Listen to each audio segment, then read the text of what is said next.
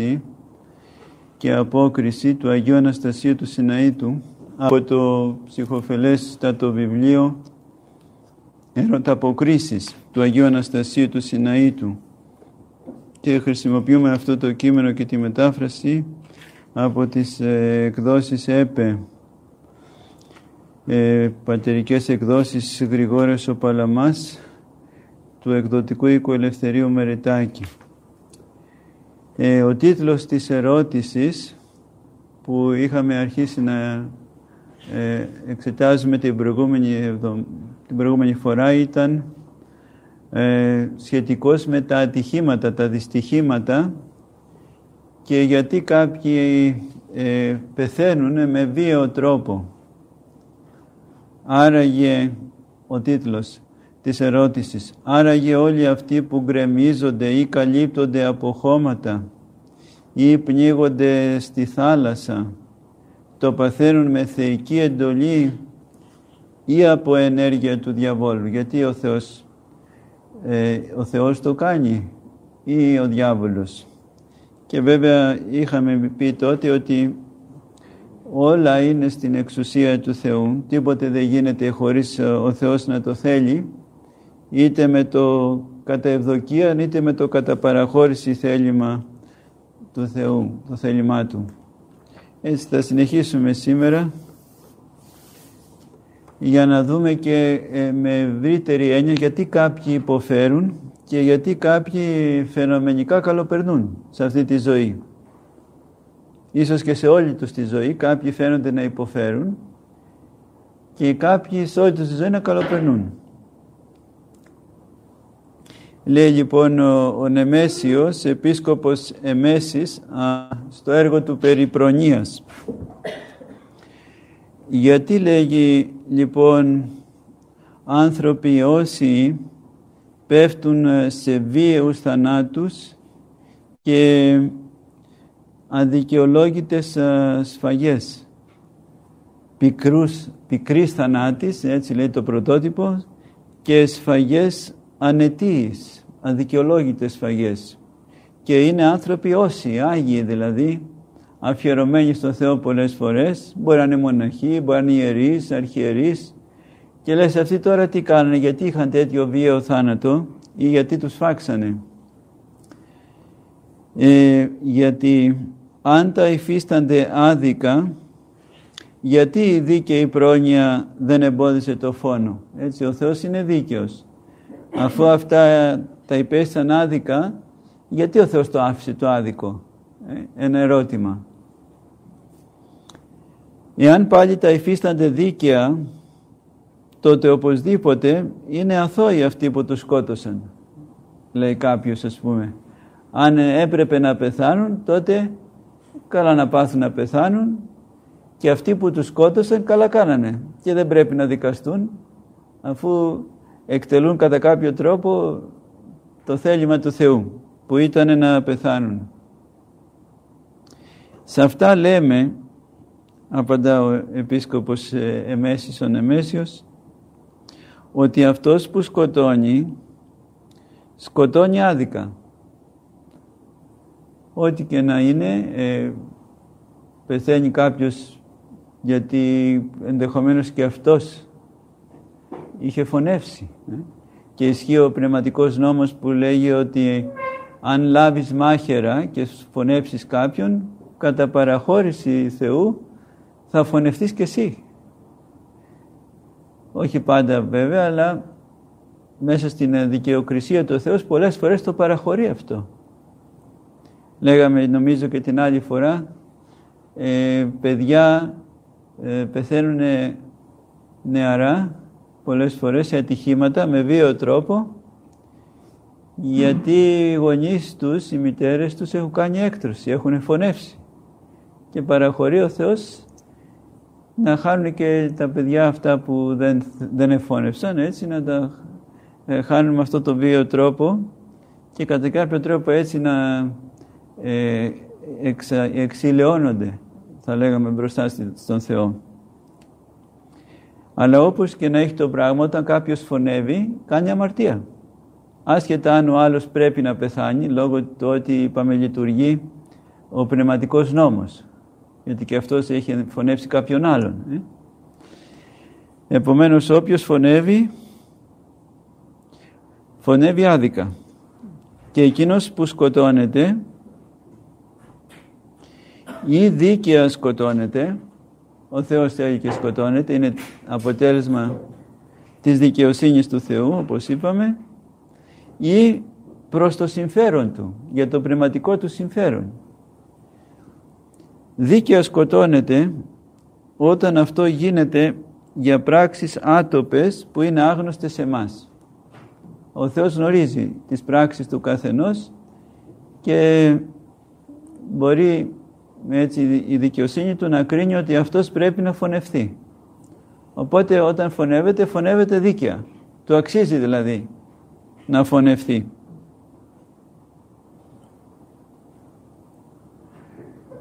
Υπάρχει και η περίπτωση να φωνεύεται για το συμφέρον του, το πνευματικό του συμφέρον. Πότε συμβαίνει αυτό, όταν η πρόνοια προλαβαίνει τις κακουργίες που επρόκειτο να γίνουν από αυτόν. Δηλαδή βλέπει η πρόνοια του Θεού ότι αυτός ο άνθρωπος αν ζήσει κι άλλο θα κάνει πολύ άσχημα πράγματα. Να σου πω ένα παράδειγμα για να μην είμαστε αφηρημένοι. Ε, ο Άγιος ε, Παναγής ο Μπασιάς είναι ένας Άγιος ε, της νήσου Κεφαλονίας, έτσι, στην Κεφαλονιά ήταν.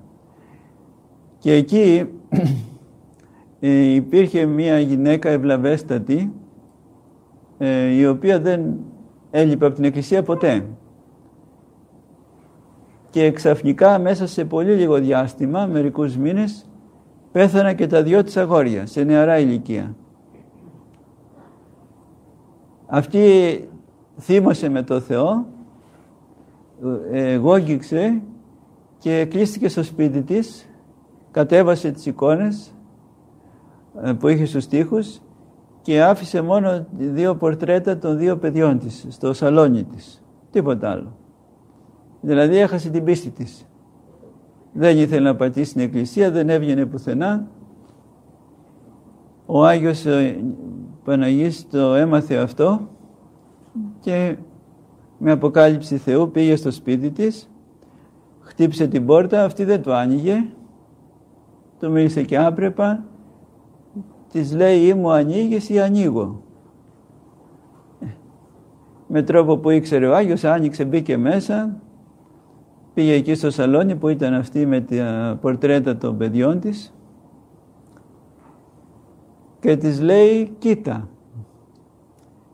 Και όπως ε, ήταν τα πορτρέτα ζωντανεύουν και κατεβαίνουν τα παιδιά της από τα πορτρέτα μπροστά στα μάτια της με ένα πιστόλι το κάθε παιδί στο χέρι του και τα βλέπει μπροστά της το ένα να πυροβολεί το άλλο και να φωνεύονται και τα δύο. Και της λέει να αυτό θα γινόταν με τα παιδιά σου αν δεν πέθαιναν, αν δεν τα έπαιρνε ο Θεός. Το ένα θα σκότωνε το άλλο γιατί και τα δυο είχαν αγαπήσει την ίδια κοπέλα και τότε ήταν και της μόδας οι μονομαχίες και θα φτάνανε στη μονομαχία και θα γινόταν αυτό που είδες. Ο Θεός δηλαδή φύλαξε τα παιδιά σου με το να τα πάρει από αυτή την κακουργία, ε, γιατί θα ήταν ένοχοι φόνου και οι δύο. Ο ένας θα φώνευε τον αδελφό του, ε, ο καθένας θα φώνευε τον αδελφό του. Επομένως υπάρχουν και περιπτώσεις που πεθαίνει κάποιος από συμφέρον, ε, από πνευματικό συμφέρον, γιατί βλέπει ο Θεός, η πρόνοια του Θεού, ότι αν ζήσει κι άλλο θα κάνει κάτι πολύ πολύ βαρύ, έτσι που θα του κοστίσει τη σωτηρία του.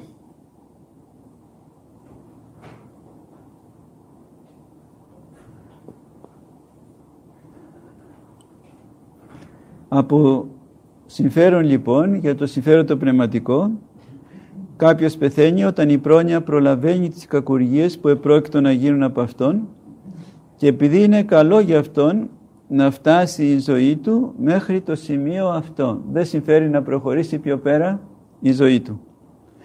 Όμως, εκείνος που τον σκότωσε, τον σκότωσε άδικα. Αν συμβεί δηλαδή να φύγει με βίο τρόπο, ε, να τον σκοτώσει κάποιος άσχετα αν αυτός με τη βούληση του Θεού πεθαίνει, γιατί αν ζήσει κι άλλο θα κάνει και αυτός κάτι πολύ φοβερό.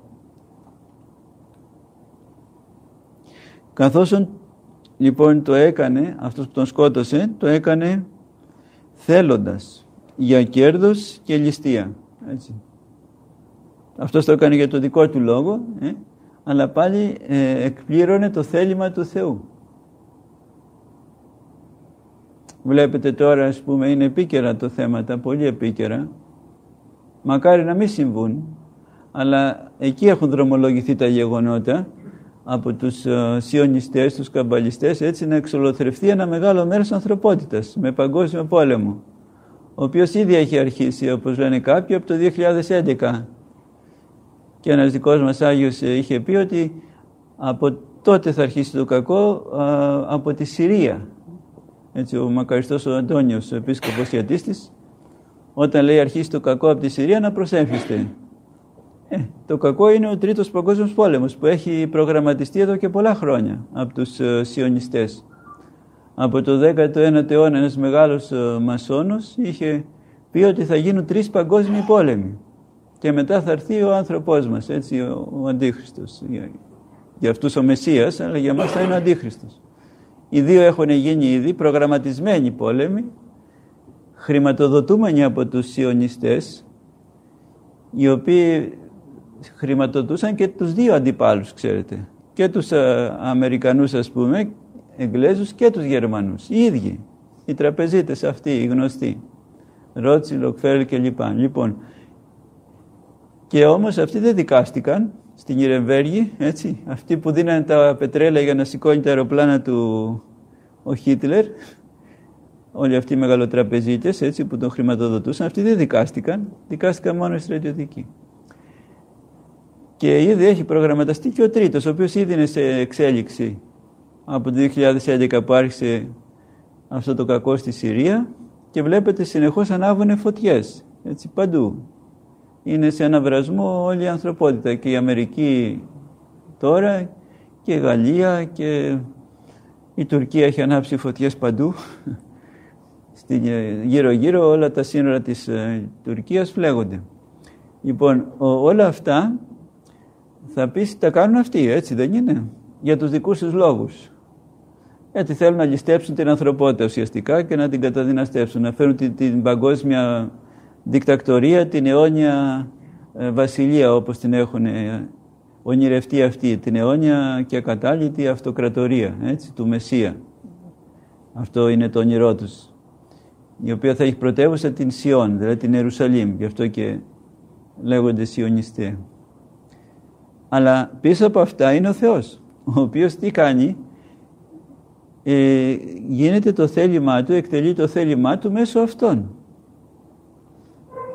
Βλέπετε στα χρόνια ας πούμε των Σοδόμων και των Γομόρων πάλι έγινε το θέλημα του Θεού με μια καταστροφή. Έπεσε πυρ και θείο και κατέκαψε όλους αυτούς οι οποίοι όσο ζούσαν τόσο χειρότερα αμάρταναν έτσι και πρόσθεταν κόλαση στην κόλασή τους. Οπότε ο Θεός από φιλανθρωπία τότε μέσω της φωτιάς και του Θείου έτους έβαλε ένα στόπ. Και τώρα οι άνθρωποι έχουν φτάσει στην ίδια κατάσταση και ίσως και χειρότερη από ό,τι ήταν οι Σοδομίτες τότε. Λοιπόν, οπότε όσο ζουν κάποιοι άνθρωποι και σήμερα, ε, τόσο χειρότερη κόλαση προσθέτουν πάνω στην κόλαση που ήδη έχουν, γιατί δεν υπάρχει περίπτωση να μετανοήσουν. Οπότε ενδεχομένως ο Θεός θα κρίνει και κρίνει ότι είναι ευεργεσία για αυτούς να σταματήσουν να ζουν. Και μπορεί να χρησιμοποιήσει αυτά τα σχέδια των σιωνιστών ε, για να κάνει το θέλημά του και να σταματήσει τη ζωή κάποιων ανθρώπων οι οποίοι ε, όσο ζουν τόσο χειρότερα κολλάζονται και θα κολλάζονται αιώνια και πολύ πιο βαριά αν συνεχίσουν να ζουν έτσι όπως ζουν, αμετανόητα. Οπότε, ναι μεν αυτός που φωνεύει έτσι το κάνει για δικό του λόγο αλλά βεβαίως το κάνει άδικα και θα δώσει λόγο στο Θεό. Δεν επιτρέπεται να εγκληματίσει. Αυτός ο μεγαλο βιομήχανος, τι είναι, μεγαλοεπιχειρηματίας, έτσι, μεγαλοκατομμυριούχος ο Bill Gates, το έχει πει ανοιχτά ότι αν πετύχουμε με τα εμβόλια και όλο αυτό το σχέδιο της ευγονικής, έτσι, ευγονική, έτσι, είναι ευγονιστής ο άνθρωπος, δηλαδή ε, θέλει να κάνει επιλογή στους ανθρώπους, έτσι, να, ε, κάποιοι να φύγουν να μην ζούνε. Λοιπόν, λέει ότι αν το καταφέρουμε θα μειωθεί ο πληθυσμός κατά 10 με 15%. Δηλαδή από τα 8 δισεκατομμύρια θα φύγει το 1 δισεκατομμύριο, το 1,5 ας πούμε. Και αυτό το θεωρεί επιτυχία. Και εμείς καθόμαστε τώρα και λέμε «Α, τι καλός που είναι, μας δίνει και το εμβόλιο». Μα δεν πάει το μυαλό σου ότι αφού στο λέει θα σε σκοτώσω, ότι θα χρησιμοποιήσει το εμβόλιο για να σε σκοτώσει. Λοιπόν, αλλά πίσω από όλα αυτά είναι ο Θεός, ο οποίος αφήνει όλους αυτούς να δρουν και μπορεί να τους αφήσει να κάνουν κάποιο μέρος των σχεδίων τους για να εκπληρώσει το δικό του θέλημα. Οι ίδιοι όμως θα δώσουν λόγο φρικτό στο Θεό για όλα τα εγκλήματα που θα διαπράξουν, αν τελικά τους αφήσει ο Θεός να τα κάνουν. Γιατί, λέει ο Νεμέσιος, η πράξη εξαρτάται από εμάς. Το τι θα κάνεις, από σένα εξαρτάται. Αν θα φωνεύσεις, θα φωνεύσεις. Αλλά το πάθημα δεν εξαρτάται από εμάς, όπως το να σκοτωθούμε. Αυτό είναι κάτι που παθαίνεις. Μπορεί να αφήσει ο Θεός να φωνευθείς. Κανένας θάνατος δεν είναι κακός, παρά μόνο αυτός που γίνεται εξαιτίας αμαρτίας. Όπως γίνεται φανερό από τον θάνατο των Αγίων Ανδρών. Θάνατος δε ουδεής κακός, ημί ο διαμαρτίας, ως δήλων εκ του θανάτου των Οσίων Ανδρών, όπως είναι φανερό από τον θάνατο των Οσίων Ανδρών, γιατί λέγει «Τίμιος ο θάνατος των Οσίων αυτού». Είναι τίμιος ο θάνατος των Αγίων του Θεού. Ενώ ο αμαρτωλός, έστω και αν πεθάνει στο σκαμνί ή αν πεθάνει χωρίς να υποφέρει, πέθανε με τρόπο κακό, έχοντας κακό σάβανο την αμαρτία. Ο θάνατος δεν είναι κακός, παρά μόνο εκείνος ο θάνατος ε, που συμβαίνει στους αμαρτωλούς, τους αμετανόητους αμαρτωλούς, έτσι, γιατί όλοι αμαρτωλοί είμαστε, αλλά προσπαθούμε να μετανοούμε, να ζητάμε το έλεος του Θεού. Ο θάνατος των αμετανοήτων, αυτός είναι κακός. Ακόμα και αν φαινομενικά ε, δεν έχει κάτι το κακό. Βλέπεις ένας πλούσιος ας πούμε ε, που δεν έχει σχέση με τον Θεό και πεθαίνει μέσα στα πούπουλα όλα καλά και όλα ωραία. Είναι θάνατος όμως κακός, θάνατος πονηρός. Γιατί, γιατί είναι μέσα στην αμαρτία αυτός ο άνθρωπος και πεθαίνει μέσα στην αμαρτία και θα δώσει φρικτό λόγο στο Θεό. Γι' αυτό λέει ο, ο λόγος του Θεού θάνατος αμαρτωλών πονηρός. Είναι από τον 33ο ψαλμό. Ο θάνατος των αμαρτωλών είναι κακός. Αυτός όμως που σκότωσε κακό σκότωσε. Μπορεί αυτόν που σκότωσε να είναι αμαρτωλός και να αξίζει να πεθάνει, αλλά δεν σημαίνει ότι αυτός που τον σκοτώνει κάνει καλό. Όχι. Ας πούμε λέει ο Άγιος ε, Παΐσιος μια προφητεία. Λέει για τους πολιτικούς, τους Έλληνες οι οποίοι διδάσκουν στα παιδιά θεία και αναρχία. Και λέει όταν θα φτάσουν στο σημείο τα παιδιά αυτά όταν μεγαλώσουν να τους ξεκυλιάσουν, τότε θα καταλάβουν τι κακό κάνανε στη νέα γενιά. Ναι. Αυτοί που θα τους ξεκυλιάσουν βέβαια όμως θα δώσουν και αυτοί λόγο. Ε; Μπορεί αυτοί να αξίζουν να πεθάνουν έτσι λόγω των αμαρτιών τους, λόγω των εγκλημάτων που κάνανε αλλά και αυτός που θα τους εκτελέσει και αυτός κάνει κακό. Ε. Γιατί στην περίπτωση εκείνων που σκοτώνονται δίκαια κατέταξε τον εαυτό τους στη θέση των δημίων. Δεν έχεις εσύ δικαίωμα να παίξεις το ρόλο του δημίου ενώ στην περίπτωση εκείνο που σκοτώνονται από συμφέρον, πήρε τη θέση των δολοφόνων και καταραμένων. Αν ε, κάποιος πεθαίνει γιατί είπαμε είναι προς το πνευματικό του συμφέρον, γιατί αν θα ζήσει θα βλάψει ανεπανόρθωτα την ψυχή του. Κάποιος λοιπόν πάει και τον σκοτώνει, αυτός είναι δολοφόνος και κατεραμένος. Ενώ στην προηγούμενη περίπτωση είναι δίμιος. Ας δούμε τι λέει και ο Άγιος Βασίλειος ε, στο λόγο του ότι ο και έστειν αίτιος ο Θεός των κακών, ότι δεν είναι αίτιος του, του κακού ο Θεός. Γιατί όντως ο Θεός δεν έφτιαξε το κακό. Ο, ο Θεός μόνο καλό κάνει και καλό. Όλα που έφτιαξε είναι καλά λίαν. Το κακό είναι στην προαίρεση του ανθρώπου. Και του διαβόλου βεβαίως. Το κυρίως λοιπόν κακό ε, είναι η αμαρτία. Δεν υπάρχει άλλο κακό. Μερικοί άνθρωποι λένε κακό το θάνατο, ας πούμε. Αλλά είπαμε πότε ο θάνατος είναι κακός. Όταν είναι μέσα στην αμαρτία, τότε είναι κακός. Αλλιώς ο θάνατος είναι και αυτός καλός. Δίνεται από τον Θεό κατά παραχώρηση, δόθηκε από τον Θεό στους ανθρώπους για να ε, σταματήσει αυτή η κατάσταση που είμαστε τώρα μέσα στην κοιλάδα του κλαθμόνος. Αυτός ο άνθρωπος ε, παθαίνει καλό που πεθαίνει δηλαδή. Ο κακός πάλι και αυτός πεθαίνει, παθαίνει καλό ε, γιατί σταματάει να είναι κακός μέσω του θανάτου. Επομένως και στη μια περίπτωση και στην άλλη ο θάνατος ε, λειτουργεί ως καλό. Βεβαίως είπαμε όταν ο άνθρωπος είναι αμετανόητος ε, ο θάνατος δεν τον βοηθάει να πάει στην αιώνια ζωή αλλά τουλάχιστον τον βοηθάει στο να μην έχει μεγαλύτερη κόλαση. Οπότε πάλι και αυτό είναι καλό για αυτόν τον αμετανόητο αμαρτωλό. Το κυρίως λοιπόν κακό δεν είναι ο θάνατος, ούτε είναι το να είσαι φτωχός, να είσαι άρρωστος, να είσαι ανάπηρος, όλα αυτά ε, λένε οι Άγιοι είναι κάτι ενδιάμεσο, δεν είναι ούτε καλό ούτε κακό. Ανάλογα με το πώς θα σταθεί ο άνθρωπος απέναντι σε όλα αυτά, πώς θα τα αξιοποιήσει, μπορεί να λειτουργήσουν για τη σωτηρία του, οπότε είναι καλά, ή μπορεί να λειτουργήσουν για την απώλειά του. Οπότε λειτουργούν ως κάτι κακό. Ένας που είναι φτωχός δηλαδή, εάν το αξιοποιήσει αυτό σωστά πνευματικά, μπορεί πολύ ευκολότερα να σωθεί από ένα πλούσιο. Ο οποίος πλούσιος έχει πάρα πολλούς πειρασμούς να πιστέψει, στο Θεό, ε, να πιστέψει στα χρήματά του, έτσι να εμπιστευτεί τα χρήματά του και όχι τον Θεό. Να ζήσει με τρυφή και καλοπέραση, οπότε μέσα στην αμαρτία, οπότε πάλι δεν λειτουργεί, δεν τον βοηθάει ο πλούτος.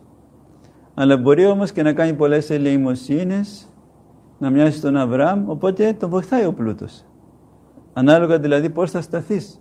Το ίδιο και η υγεία. Ένας που έχει υγεία, αν την αξιοποιήσει σωστά, έτσι, μπορεί ευκολότερα να σωθεί. Από έναν ο οποίος έχει μια αρρώστια βαριά και έχει τον πειρασμό να αγωγήσει κλπ. ή μια αναπηρία.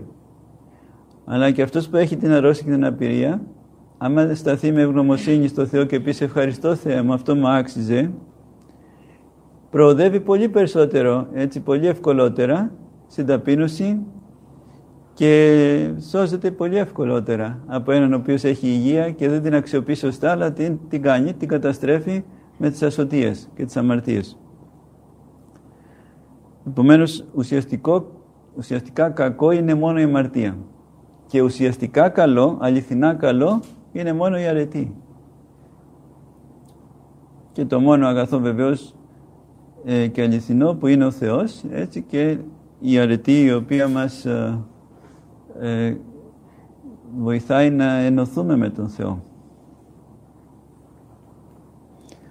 Λέει λοιπόν ο Μέγας Βασίλειος, το μένουν κυρίως κακόν η αμαρτία,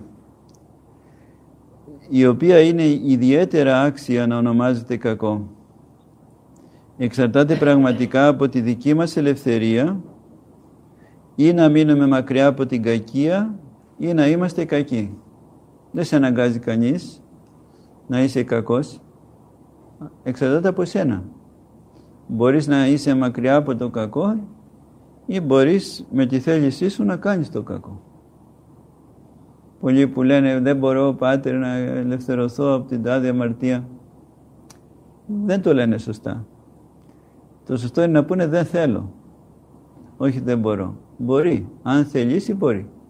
Πώς θέλεις ας πούμε κάθεσαι στο τραπέζι και τρως το έχεις αποφασίσει, δεν σε σταματάει τίποτα, έτσι δεν είναι, αφού το πήρες απόφαση. Εάν πάρεις απόφαση και το οτιδήποτε άλλο, θα ζοριστείς λίγο γιατί υπάρχει η συνήθεια. Αυτό είναι που μας ζορίζει, έτσι, η κακή συνήθεια. Αλλά με τη θέληση και με τη χάρη του Θεού θα το κάνεις, θα το καταφέρεις. Το κακό λοιπόν το κάνουμε ελεύθερα. Γι' αυτό και δίνουμε λόγο στο Θεό για τις πράξεις μας. Και για το καλό και για το κακό ε, ε, χρειάζεται η ανθρώπινη ε, ε, βούλησης και ελευθερίας.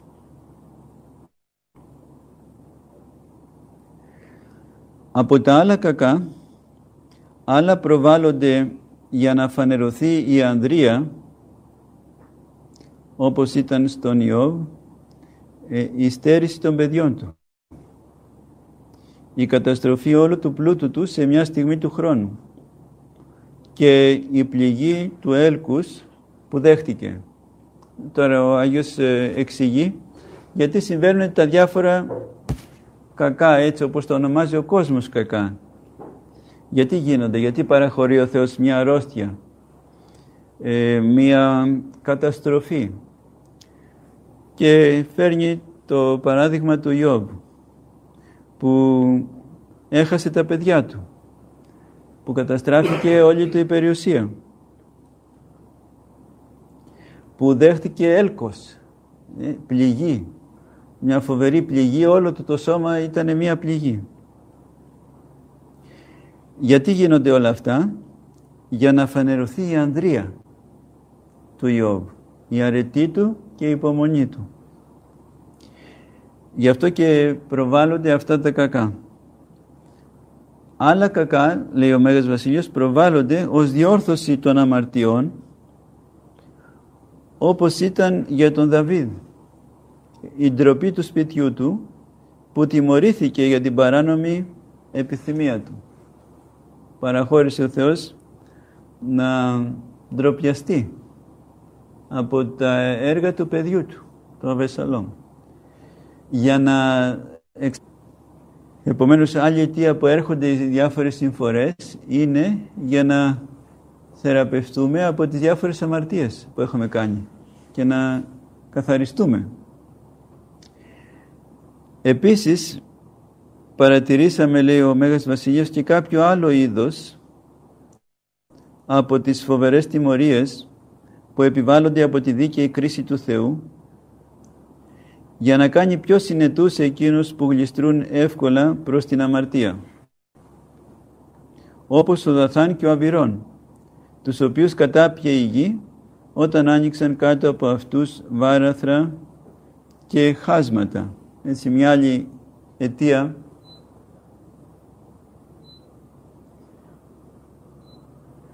ε, που γίνονται οι συμφορές είναι για να παραδειγματιστούν κάποιοι άλλοι από τα παθήματα που υφιστάμεθα. Ο Δαθάν και ο Αβυρών, ας πούμε, παραδειγματικά τιμωρήθηκαν γιατί ασέβησαν. Έδειξαν ασέβεια μπροστά στον Θεό. Άνοιξε η γη και τους κατάπιε. Και λέει ο Μέγας Βασίλειος, αυτό έγινε σύμφωνα με τη δίκαιη κρίση του Θεού για να συνετιστούν αυτοί οι οποίοι ευκολότερα έπεφταν στην αμαρτία. Δηλαδή ο, ο Θεός του χρησιμοποιεί κάποιες παραδειγματικές τιμωρίες ε, για να συνετιστούν όλοι. Λέει ο ίδιος ο Κύριος τότε που είχε πέσει ένας πύργος του Σιλοάμ και είχε ανφωνευτεί 17-18 και τους είπε ο Κύριος τι νομίζετε ότι αυτοί ήταν πιο αμαρτωλοί από εσάς και έπεσε ο πύργος και τους πλάκωσε.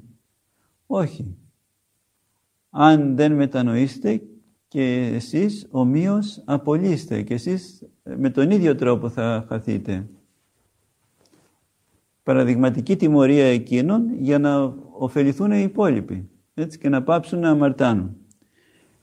Το ίδιο και τα Σόδομα και τα Γόμορα είναι μια παραδειγματική τιμωρία για να συνετιστούν όλοι οι οποίοι κάνουν ανάλογα αμαρτήματα δεν γίνεται κάθε φορά η τιμωρία. Βλέπετε σήμερα η ανθρωπότητα κατεξοχήν έχει πέσει αυτό το αμάρτημα έτσι, του σοδομισμού, της ομοφιλοφιλίας. Δεν βλέπουμε να πέφτει σε κάθε σοδομήτη φωτιά και να τον καίει, όπως έγινε τότε στα Σόδμα. Γιατί; Δεν χρειάζεται, το έκανε ο Θεός μια φορά. Σου λέει αυτό θα γίνει. Να ξέρεις. Αυτή τη μορία σου αρμόζει. Μην κοιτάς που δεν σου έρχεται τώρα εσένα αμέσως, θα σου έρθει. Και αν δεν σου έρθει σε αυτή τη ζωή, θα σου έρθει στην άλλη. Καταλάβατε, είναι παραδειγματικές τιμωρίες για αυτούς οι οποίοι αμαρτάνουν και δεν εννοούν να μετανοήσουν. Η, η αμαρτία ε, του, της, ε, του ψεύδους. Ε. Παραδειγματική τιμωρία του ψεύδους είναι ε, ο θάνατος του Ανανία και της Σαπφύρας, οι οποίοι είπαν ψέματα στον Απόστολο Πέτρο και έπεσαν νεκροί, διαδοχικά. Ε. Πρώτα ο Ανανίας και μετά και η γυναίκα του η οποία είπε και αυτή ψέματα ότι έτσι τόσο δώσαμε το χωράφι. Είχαν συνοηθεί μεταξύ τους να πούν ψέματα. Δεν ήξερε η Σαφύρα ότι ο άντρας της είχε πεθάνει και έπεσε και αυτή και οι ίδιοι που πήραν τον άντρα της και το θάψαν πήραν και αυτή μετά.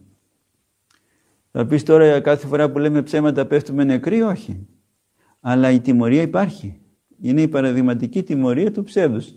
Και ο Θεός λέει σε όλους αυτούς που ψεύδονται, αυτή η τιμωρία σου ταιριάζει και σένα. Μην κοιτάς που δεν σου έρχεται αμέσως. Ε. Να γιατί λοιπόν ο Θεός παραχωρεί ε, να συμβαίνουν αυτοί οι θάνατοι. Μία αιτία είναι η παραδειγματική έτσι, τιμωρία αυτών, ώστε να βοηθηθούν οι υπόλοιποι και να μην αμαρτάνουν και να μην γλιστράνε εύκολα σε αυτές τις συγκεκριμένες αμαρτίες που έχουν τιμωρηθεί παραδειγματικά. Εδώ βέβαια λέει για τους ε, Δαθάν και Αβυρών ο Μέγας Βασίλειος ε, αυτοί με τον τρόπο της τιμωρίας τους δεν έγιναν καθόλου καλύτεροι. Πώς δηλαδή θα γίνονταν αυτοί που κατέβηκαν στα μέρη του Άδη; Για αυτούς τέλειωσε η υπόθεση τους. Άνοιξε η γη, τους κατάπιε. Έκαναν όμως με το παράδειγμα σοφρονεστέρους τους άλλους. Οι άλλοι όμως που το είδαν αυτό σοφρονίστηκαν. Και λένε πω, πω τόσο σοβαρό πράγμα είναι να σεβούμε, να αμαρτάνουμε μπροστά στον Θεό. Έτσι ε, καταποντίστηκε και ο Φαραώ με όλο το στρατό του. Και αυτός ο Φαραώ είναι πάλι μια παραδειγματική τιμωρία. Ε. Πως ε, πνίγηκε όλος ο, ο στρατός και ο ίδιος ο Φαραώ μέσα στην Ερυθρά θάλασσα γιατί καταδίωξαν το λαό του Θεού, αθέτησαν τη συμφωνία. Έτσι εξαφανίστηκαν και εκείνοι που κατοικούσαν προηγουμένως στην Παλαιστίνη. Του Ιερού Χρυσοστόμου από το λόγο του στο σεισμό. Λέει ο Ρεσόστομος, δεν υπάρχει δίκαιος που να μην έχει κάποιο αμάρτημα, ούτε αμαρτωλός που να μην έχει κάτι καλό. Ο δίκαιος, ο, ο Άγιος, ο καλός, πάντα έχει και κάτι κακό. Ε; δεν είναι τελείως Άγιος. Ποιος είναι τελείως αναμάρτητος. Όλοι και οι πιο τέλειοι και Άγιοι έχουν και κάποια ελαττώματα και κάποια αμαρτήματα. Και αυτοί που είναι κακοί πάλι δεν είναι τελείως κακοί και ο πιο κακός έχει και κάτι καλό. Όταν λοιπόν δεις κάποιον δίκαιο να είναι άρρωστος ή να έχει πέσει σε δοκιμασία, να μην θορυβηθείς, να μην ε, παραξενευτείς αλλά σκέψου γι' αυτόν και πες. Αυτός ο δίκαιος και τιμωρείται εδώ για να μην βασανιστεί εκεί. Να το δικαιολογήσεις. Αυτή είναι η σωστή σκέψη. Όχι να λες κοίταξε και αυτός που είναι και καλός και όμως βασανίζεται. Άρα πού είναι ο Θεός λένε κάποιοι εξυπνάκηδες. Αφού και αυτοί που πάνε το πρωί το βράδυ στην εκκλησία και αυτοί έχουν δυστυχίες και δυσκολίες. Όχι, δεν είναι σωστή σκέψη αυτή. Το αντίθετο πρέπει να πεις, ότι αυτός είναι καλός, αλλά έχει και κάτι λίγο ως άνθρωπος και ποιος δεν έχει και ξεχρεώνει τώρα με αυτή τη μικρή δυσκολία και δοκιμασία αυτό το μικρό κακό που έχει. Τιμωρείται εδώ για να είναι πλεονέκτης, να κάνει μύρια κακά και να ευημερεί να μην απορρίσεις. Να κάνει τα μύρια όσα, ε, και να πηγαίνει και καλά, να το πηγαίνουν όλα καλά. Οι δουλειές του καλά, τα παιδιά του καλά και λοιπά, οι σπουδές τους, οι οικογένειές τους. Και λες, τι γίνεται, λένε κάποιοι, δεν υπάρχει Θεός. Αυτός τόσο μεγάλος εγκληματίας και να το πηγαίνουν όλα καλά. Όταν δεις λοιπόν κάποιον τέτοιον, να πεις, αυτός που έκανε μύρια κακά και δεν υποφέρει κανένα κακό, έκανε κάτι καλό οπωσδήποτε. Δεν ήταν όλα κακά, έχει κάνει και κάτι καλό στη ζωή του. Και ανταμείβεται γι' αυτό εδώ, σε αυτή τη ζωή, για να τιμωρηθεί εκεί. Παίρνει εδώ το μισθό του δηλαδή, το που έχει κάνει, του, του ξεχρεώνει ο Θεός κατά κάποιο τρόπο εδώ, τον ξεπληρώνει, γιατί ο Θεός είναι δίκαιος απόλυτα. Και ένα ποτήρι κρύο νερό να δώσεις, θα πάρεις το μισθό σου, θα το πάρεις, δεν το όταν το δεις να ευημερεί, ενώ είναι τόσο κακός, να σκέφτεσαι ότι αυτός ξεχρεώνεται από τον Θεό. Ανταμείβεται εδώ για να μην τιμωρηθεί εκεί. Γι' αυτό ο Αβραάμ, επειδή συνέβαινε και ο Λάζαρος να έχει αμαρτία και ο πλούσιος να έχει κάνει κάτι καλό, έλεγε «Απόλαυσες τα αγαθά σου και ο Λάζαρος τα κακά». Βλέπετε πως ο Θεός τακτοποιεί και λέει εσύ τα καλά σου τα απόλαυσες στη ζωή σου. Δεν σου χρωστάω τίποτα τώρα. Ε; Ο Θεός όλα τα καλά γιατί και ο πλούσιος μπορεί να ήταν άθλιος ας πούμε στη ζωή του αλλά είχε και κάτι καλό. Ε, ο Θεός του το ξεπλήρωσε σε εκείνη τη ζωή, την πρώτη του ζωή, στην, στην εδώ ζωή με όλα αυτά τα γλέντια που έκανε, ξεπληρώθηκε για το όποιο καλό είχε, αν είχε κάτι λίγο καλό. Ο Λάζαρος πάλι, που είχε πολλά καλά, σίγουρα και αυτός είχε και κάτι ενδεχομένως ως άνθρωπος κακό, ε, το ξεπλήρωσε και με το παραπάνω, με την υπομονή που έκανε σε αυτήν εδώ τη ζωή. Και αυτός ε, ανταμείβεται από τον Θεό.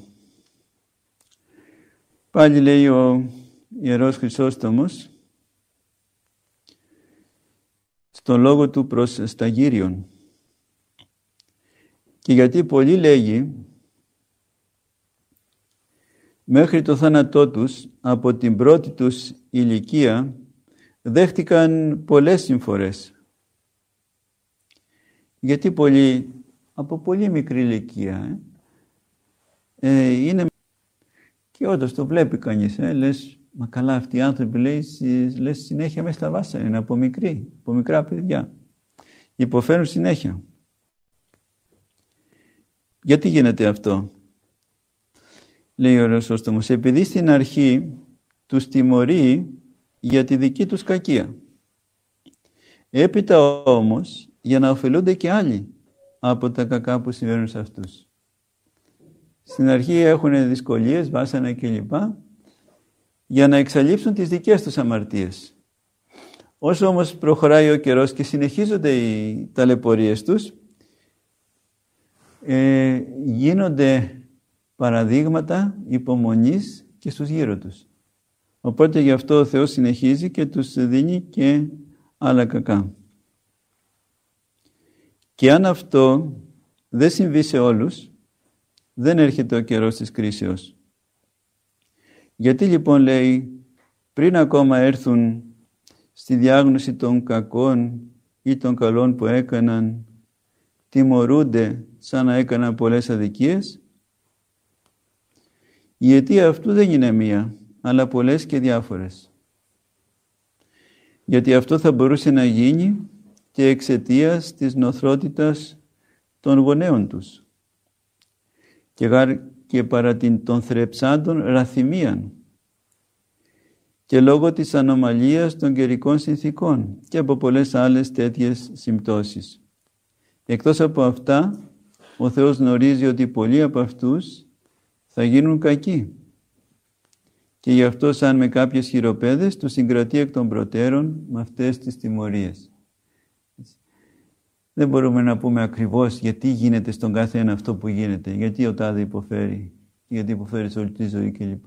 Λέει εδώ ο Ιεροσόστομος κάποιες ε, αιτίες. Ε. μπορεί λέει αυτοί να συγκρατούνται σαν με κάποιες χειροπέδες ε, από τα κακά στα οποία θα έπεφταν αν δεν είχαν αυτές τις συμφορές, αυτές τις, ε, αυτές τις δυσκολίες που τους έχει δώσει ο Θεός. Λέει πάλι ο Ρεσόστομος από τη, την ερμηνεία της Δευτέρας προς Τιμόθεων Επιστολής.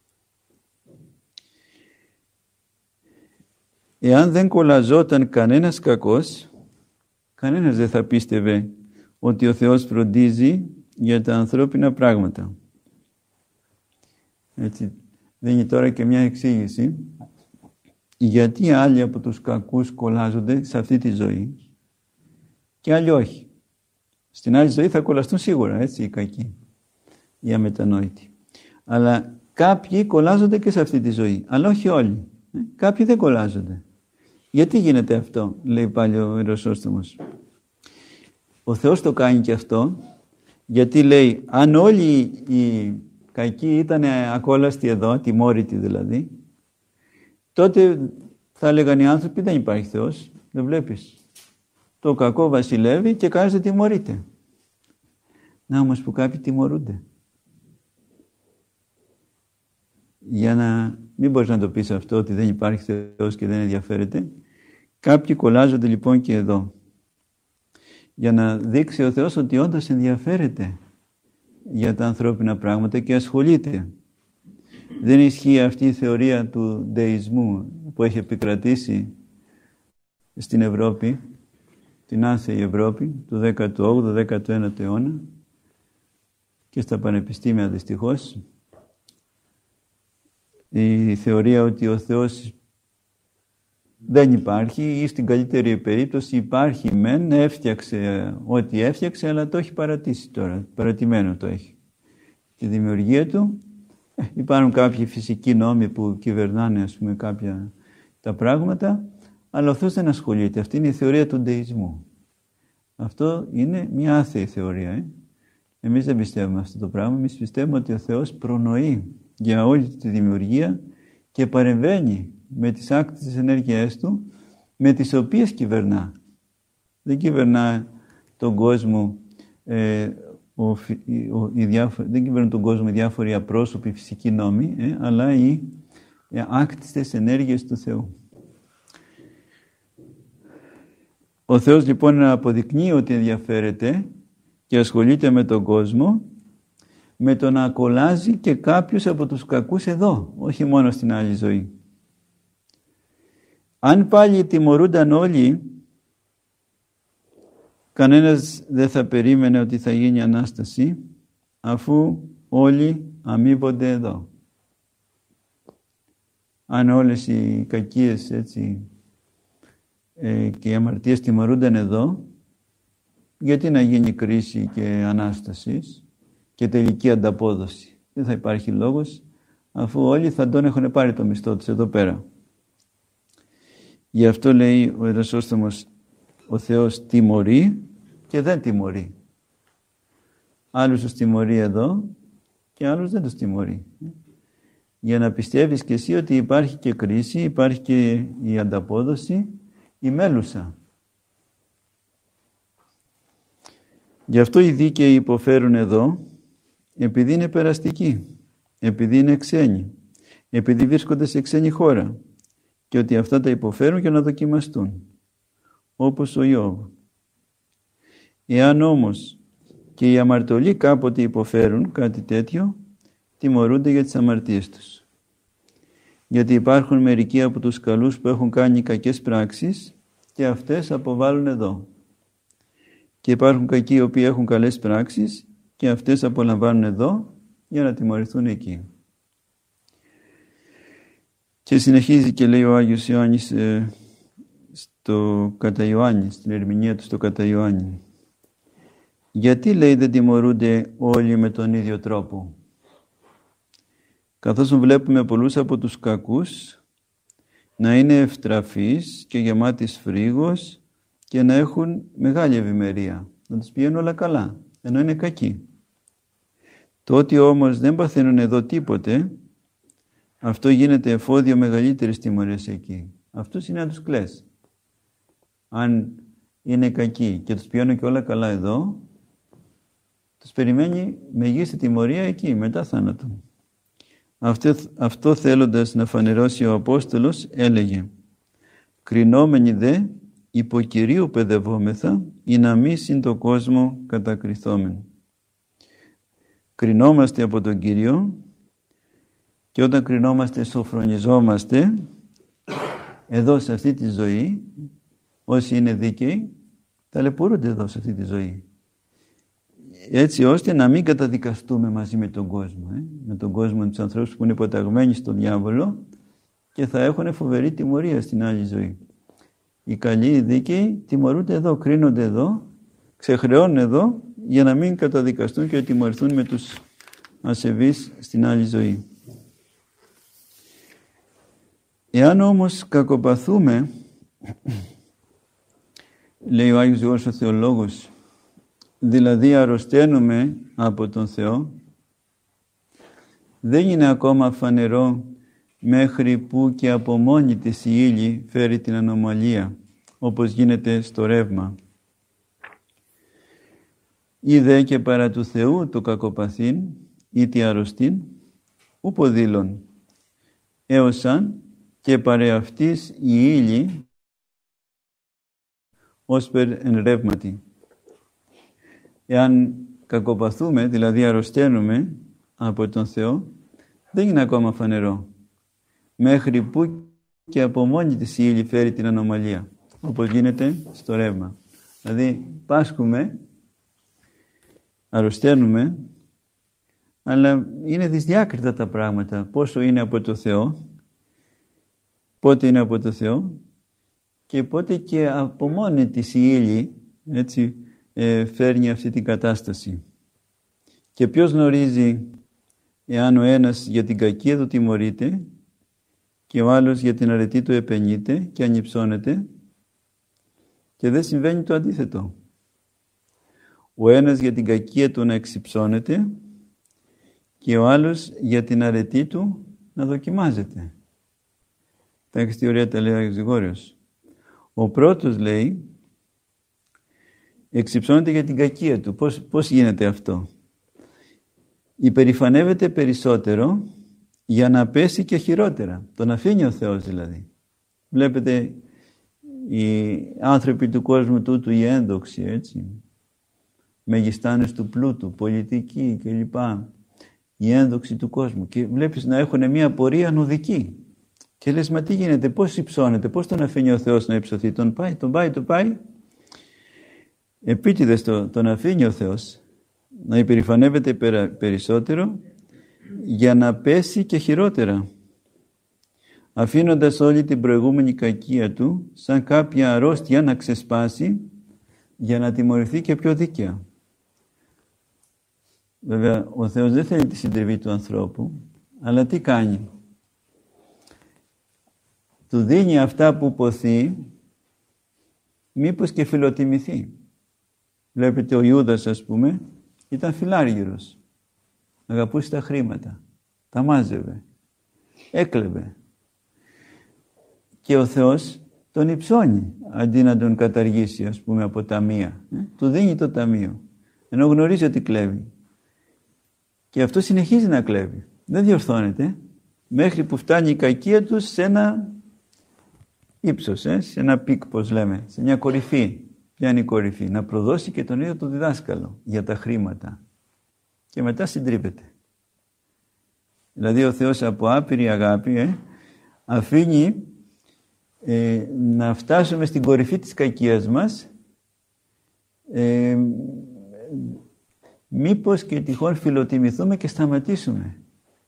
Να απολαύσουμε, θα λέγαμε, στην πληρότητά Του αυτό που θέλουμε να απολαύσουμε. Σε αφήνει να φτάσει στα όρια σου. Ε; Αυτό που λένε σήμερα το τερμάτισε λέει. Ε; Δεν πήγαινε πιο πάνω. Ε; Σε αφήνει ο Θεός αυτό. Και μετά συντρίβεσαι. Αυτό είναι το φοβερό. Γι' αυτό λέει ο Άγιος, ε, μπορεί λέει κάποιος να υψώνεται για την κακία του. Μην το χαίρεσαι που υψώνεται, να τον κλαις. Γιατί έρχεται πολύ γρήγορα η συντριβή.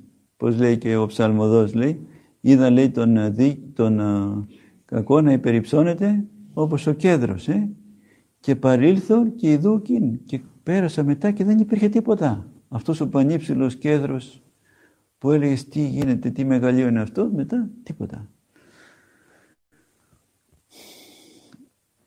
Υπερηφανεύομενος περισσότερο για να πέσει και χειρότερα, αφήνοντας όλη την προηγουμένη κακία του σαν κάποια αρρώστια να ξεσπάσει για να τιμωρηθεί και πιο δίκαια. Και ο άλλος, ο ενάρετος, να δοκιμάζεται, υποφέροντας παρελπίδα, ώστε αφού δοκιμαστεί σαν το χρυσάφι στο καμίνι, να αποβάλει και την παραμικρή κακία που ενδεχομένως είχε. Γιατί κανένας δεν είναι καθαρός από βρωμιά, από ρήπο. Ουδής καθαρός από ρήπο. Έτσι, και αφήνει ο Θεός τον δίκαιο να ταλαιπωρείται, να βασανίζεται. Βλέπεις α, Άγιοι άνθρωποι ας πούμε και να έχουν φοβερούς πειρασμούς. Ε. Να, τρένε, να τρώνε ξύλο ας πούμε από τους δαίμονες. Ο, ο Άγιος Ιάκωβος ο Τσαλίκης. Και λες τι γίνεται τώρα; Γιατί ο Θεός το αφήνει αυτό το πράγμα; Ξέρει ο Θεός, για να δοξαστεί ο Άγιος. Και τελικά το ξύλο βέβαια δεν το τρώει ο Άγιος, ο, ο δαίμονας το τρώει το ξύλο. Έτσι, γιατί καταντροπιαζότανε με την υπομονή του Αγίου και την αρετή του. Αλλά παραχωρεί ο Θεός μέσα από αυτές τις καταστάσεις να καθαρίζεται ο Άγιος σαν το χρυσάφι που για να το καθαρίσουμε το ρίχνουμε μέσα σε ένα πυρακτωμένο καμίνι. Οπότε οτιδήποτε άλλο υπάρχει που δεν είναι χρυσάφι καίγεται. Σκουριές, σκουπίδια, τα πάντα. Μέσα στη φωτιά ε, πάγουν να υπάρχουν. Και μένει το καθαρό χρυσάφι. Έτσι και ο Άγιος μέσα στις δοκιμασίες καθαρίζεται τελείως. Του Αγίου Βασιλείου. Όλες οι αρρώστιες δεν οφείλονται στη φύση για τις οποίες βλέπουμε μερικές φορές να είναι χρήσιμη ιατρική. Γιατί πολλές φορές οι αρρώστιες είναι τιμωρίες αμαρτιών που μας βρίσκουν για να επιστρέψουμε. Γιατί λέγει όποιον αγαπά ο Κύριος τον παιδεύει. Και γι' αυτό μεταξύ σας υπάρχουν πολλοί αδύνατοι και άρρωστοι και αρκετοί πεθαίνουν. Εάν όμως κρίναμε όπως πρέπει τους εαυτούς μας, δεν θα κρινόμασταν. Αλλά όταν κρινόμαστε από τον Κύριο, παιδαγωγούμαστε για να μην κατακριθούμε μαζί με τον κόσμο. Οι αρρώστιες λοιπόν, λέει ο Μέγας Βασίλειος, είναι αποτελέσματα τιμωρίες αμαρτιών που μας συμβαίνουν για να επιστρέψουμε, να μετανοήσουμε. Όν αγαπάει Κύριος, παιδεύει. Έτσι, αυτόν που αγαπάει ο Κύριος τον παιδαγωγεί, όπως λέει στις παροιμίες. Και πάλι λέει στην πρώτη προς Κορινθίους, σε αυτό το κλασικό χωρίο, στο ενδέκατο κεφάλαιο, που αναφέρεται στη Θεία Μετάληψη. Και τι λέει εκεί ο Απόστολος Παύλος στους Κορινθίους.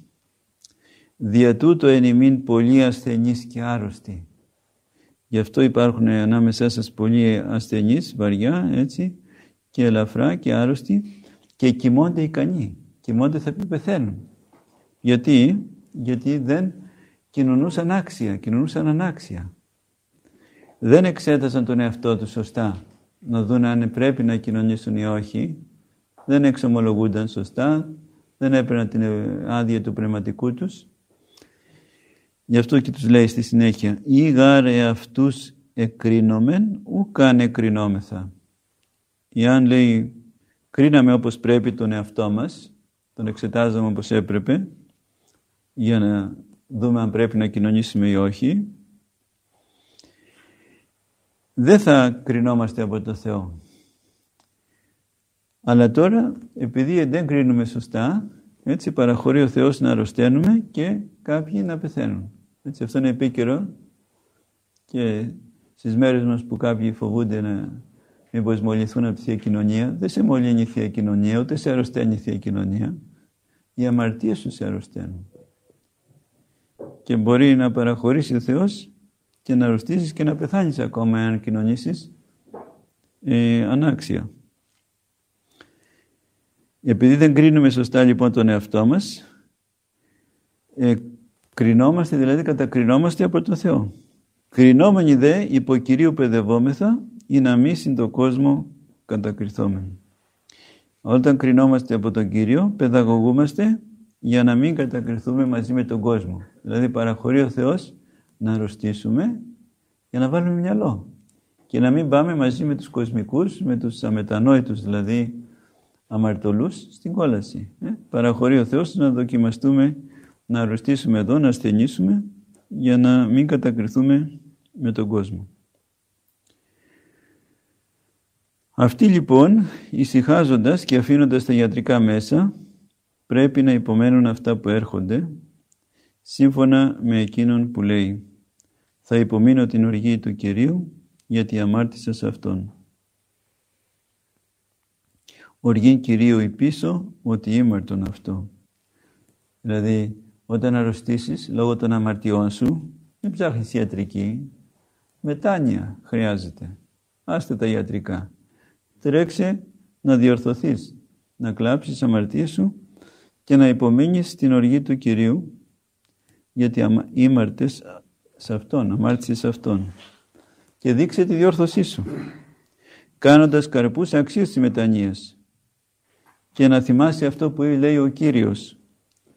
Είδε υγιής γέγονας, μικέτη αμάρτανε, ή να μη χείρον της υγιέννηται. Πρόσεχε, έγινες υγιής, να μην αμαρτάνεις πλέον, για να μην σου συμβεί κάτι χειρότερο. Έτσι, το χειρότερο ποιο είναι, η αιώνια κόλαση. Αυτό που είπε ο Κύριος στον παράλυτο. Που σημαίνει ότι ήταν παράλυτος λόγω αμαρτιών του.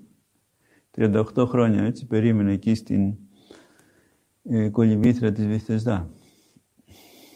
Και του λέει ο Κύριος, έγινες καλά, πρόσεξε, μην ξαναμαρτήσεις, για να μην πάθεις το χειρότερο που είναι η αιώνια κόλαση. Γίνεται όμως κάποτε και με απέτηση του διαβόλου, ο οποίος κάθεται σαν μεγάλος ανταγωνιστής του φιλανθρώπου δεσπότη στον αγώνα του ανθρώπου ο οποίος με την τεράστια υπομονή του νικά το δόλο του, όπως διδαχθήκαμε ότι συνέβη στην περίπτωση του Ιώβ. Δηλαδή πολλές φορές έτσι παραχωρεί ο Θεός να δοκιμαστούμε κατά απέτηση του διαβόλου.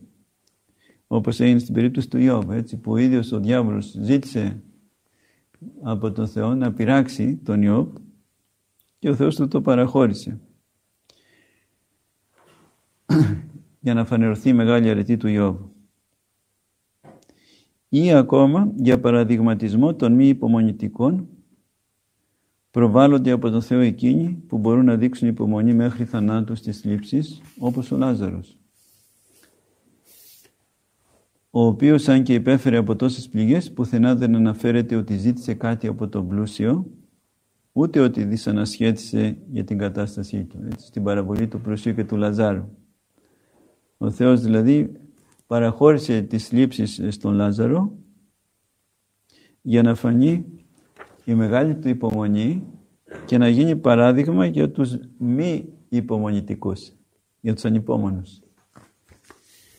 Ο οποίος ποτέ δεν λέει ότι ζήτησε κάτι τον πλούσιο. Ε; Πόσο υπομονή έκανε. Ενώ ήξερε ότι ο πλούσιος είχε. Το πάντα είχε, το άβλεπε. Δεν του είπε, δώσ' μου και εμένα κάτι να φάω. Δεν με βλέπεις εδώ που υποφέρω τίποτα. Γι' αυτό και πέτυχε την ανάπαυσή του στους κόλπους του Αβραάμ, επειδή στην εδώ ζωή είχε υποστεί τα κακά. Βρίσκουμε και άλλη αιτία ασθενειών, οι οποίες προσβάλλουν τους Αγίους, όπως συνέβη στην περίπτωση του Αποστόλου Παύλου, ο οποίος είχε κάποια ασθένεια πολύ σοβαρή, δεν ξέρουμε ακριβώς τι. Γιατί παραχώρησε ο Θεός να έχει αυτή την ασθένεια, για να μην φανεί δηλαδή ότι ξεπερνά τα όρια της ανθρωπίνης φύσεως. Και να μην σκεφτεί κάποιος ότι έχει κάτι περισσότερο από την φυσική κατασκευή, ότι είναι κάποιος υπεράνθρωπος. Πράγμα που έπαθαν οι κάτοικοι της Λικαονίας, οι οποίοι του πρόσφεραν στεφάνια και τάβρους, προκειμένου να φανεί η ανθρώπινη φύση του ζει διαρκώς με την ασθένειά του. Γιατί αυτοί οι κάτοικοι νομίζουν ότι είναι Θεός και έφερναν ε, τάβρους για να, τον, να θυσιάσουν προς τιμή του Απόστολου Παύλου και του Βαρνάβα, έτσι, τους θεώρησαν θεούς. Και τους ε, λέει προς Θεού, άνθρωποι είμαστε, σαν και εσάς, μην κάνετε αυτό το πράγμα. Για να φανεί η ανθρώπινη φύση λοιπόν, ε, ο Θεός παραχώρησε και στον Απόστολο Παύλο να είναι άρρωστος. Τι κέρδος θα μπορούσε να προκύψει σε αυτούς από την ιατρική, αν όχι κίνδυνος, αφού θα πήγαινε ο νους τους με την ορθή λογική στη φροντίδα του σώματος. Και εκείνοι που από κακή δίαιτα προκάλεσαν στους εαυτούς τους την αρρώστια, πρέπει να χρησιμοποιούν τη θεραπεία του σώματος για τη φροντίδα της ψυχής.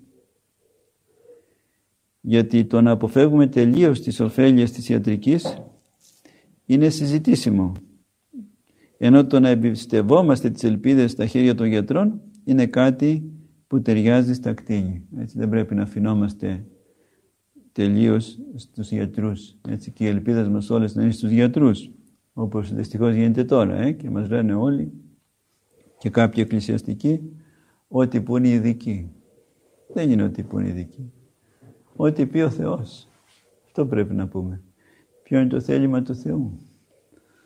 Και η ειδική είναι το Πνεύμα του Άγιου μέσα στην Εκκλησία. Και οι Άγιοι που είναι φορείς του Αγίου Πνεύματος. Αυτοί μας έχουν διδάξει τι πρέπει να κάνουμε. Σε παρόμοιες, σε ανάλογες περιπτώσεις, μας είπαν τι πρέπει να κάνουμε. Δεν μας είπανε να ακούμε τους ειδικούς, ε, αλλά να κάνουμε λιτανίες, σαρταλίτουργα, παρακλήσεις, θείες λειτουργίες κλπ.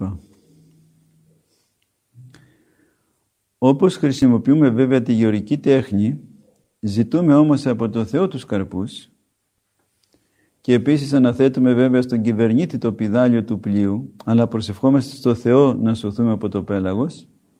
Έτσι και όταν φέρνουμε γιατρό, εφόσον το επιτρέπει η λογική, δεν πάβουμε να στηρίζουμε τις ελπίδες μας στον Θεό. Δεν είναι ο γιατρός δηλαδή που θα μας θεραπεύσει, αλλά ο Θεός. Η ελπίδα μας πρέπει να είναι πάντα στο Θεό και όχι στον ιατρό. Αλλά κάνουμε και το ανθρώπινο, έτσι, καλούμε και το γιατρό, ταπεινούμενοι. Αλλήμον όμως αν όλες οι ελπίδες μας εξαντλούνται στον ιατρό. Και ένα πολύ μικρό το Αγίου Μαξίμου και σταματούμε. Αυτός βέβαια που είναι μυαλωμένος, λέει, σκεφτόμενος την θεραπεία των αποφάσεων του Θεού, υποφέρει με ευχαρίστηση τις συμφορές που τον βρίσκουν με απόφαση του Θεού. Σκεπτόμενος οτιδήποτε άλλο δεν είναι αιτία των συμφορών, παρά μόνο οι αμαρτίες τους. Οι αμαρτίες του. Έτσι όποιος ταλαιπωρείται, αν είναι μυαλωμένος, λέει ο Άγιος Μάξιμος, ομολογητής, σκέφτεται ότι μέσω των ταλαιπωριών ο Θεός τον θεραπεύει και ότι καμιά άλλη δεν είναι αιτία των συμφορών του παρά οι αμαρτίες του. Έτσι αυτή είναι η σωστή αντιμετώπιση κάθε φορά που βασανιζόμαστε, ταλαιπωρούμαστε για οποιοδήποτε λόγο.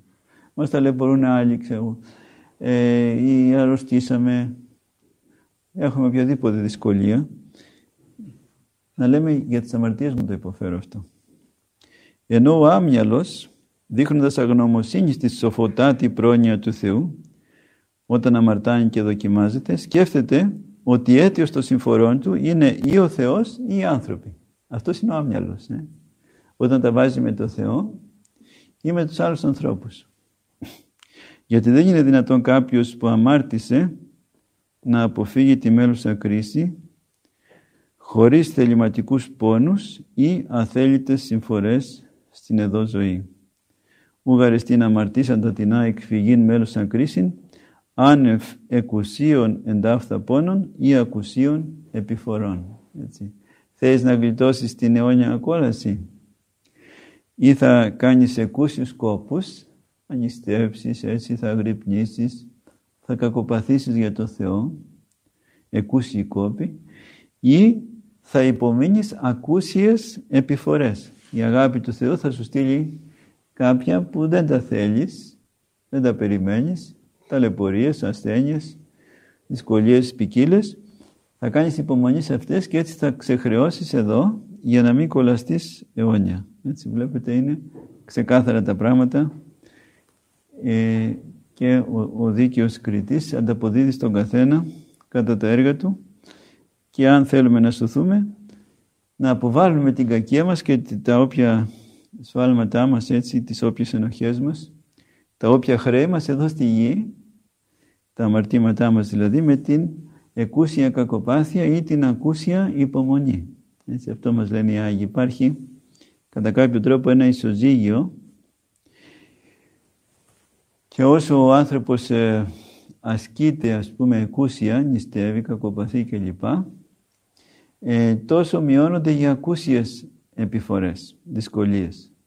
Όσο ο άνθρωπος είναι καλός βέβαια, αλλά χρειάζεται και κάποια κάθαρση και δεν κάνει σωστά τον κανόνα του, ε, την κακοπάθεια, την εκούσια, παραχωρεί ο Θεός ακούσιες ταλαιπωρίες, ασθένειες και λοιπά δυσκολίες, έτσι ώστε να καθαριστεί εδώ και να είναι έτοιμος για να πάει στη Βασιλεία του Θεού. Γι' αυτό δεν πρέπει να στεναχωριόμαστε όταν βλέπουμε κάποιον δίκαιο να υποφέρει ή να έχει ένα βίο τέλος, ε, ένα τραγικό τέλος. Ίσα ίσα να χαιρόμαστε γιατί ο Θεός προφανώς με αυτόν τον τρόπο έτσι τον καθάρισε από τα όποια μικρά λάθη, σφάλματα, αμαρτίες που είχε εδώ και πεντακάθαρος έχει πάει εκεί στη βασιλεία του. Αυτά έτσι ήθελα να πω ε, στην αγάπη σας για απόψε και έτσι